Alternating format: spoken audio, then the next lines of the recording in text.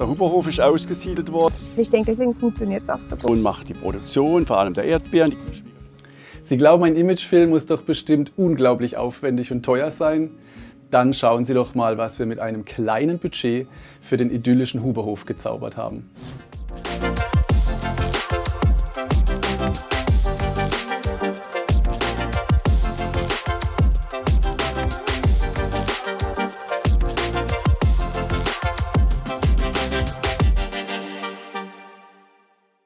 Durch eine gute Planung und Organisation im Vorfeld haben wir nur einen Drehtag vor Ort gebraucht.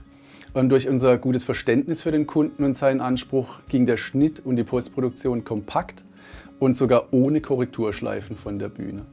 Authentisch und emotional sollte es werden. Und das kam dann auch dabei raus.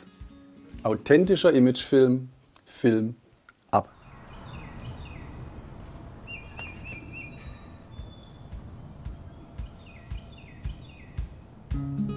Der Huberhof ist ausgesiedelt worden von meinen Eltern. Wir haben ja schon seit 1963 Erdbeeren hier. Und äh, der Spargel kam ja erst vor etwa zwölf Jahren dazu.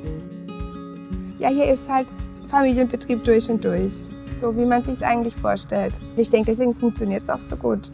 Wenn man mit Herz dabei ist und einem Spaß macht.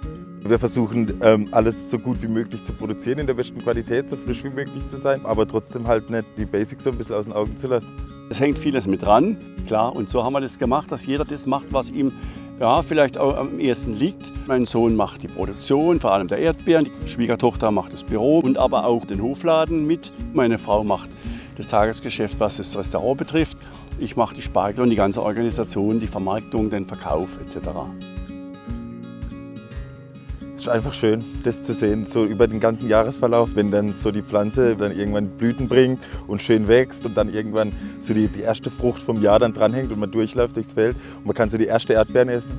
Das ist eigentlich so das, wo man sich das ganze restliche Jahr drauf freut. Und dann äh, kommt die Erfahrung der Jahre hinzu, das, was man auch von ich, von meinem Vater, der Sohn auch von mir schon ein bisschen mitgekriegt hat. Das alles in der Summe, das ergibt dann einfach mit dem Feedback der Verbraucher auch natürlich und dem permanenten Umgang mit der Kultur und mit der Frucht, ergibt dann einfach das Know-how, das man braucht, entsprechende Qualität anzubieten und anzubauen.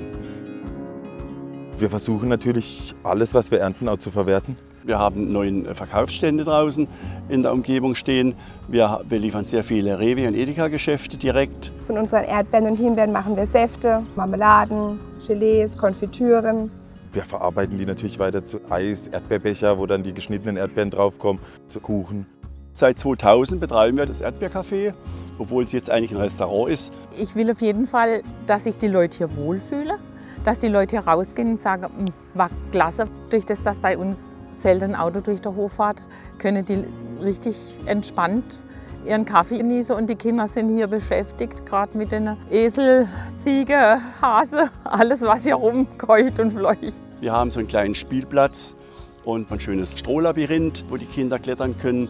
Und das alles in der Summe, äh, das macht es aus, damit sie sich wohlfühlen, bis hin zu einer, äh, ja, ja, zu einer grünen Umgebung. Uns dürfen besuchen alle Familien, Kinder, die Senioren sind willkommen, eigentlich alle Genießer, die Spargel lieben, Erdbeeren lieben und ähm, einfach unsere frische Küche.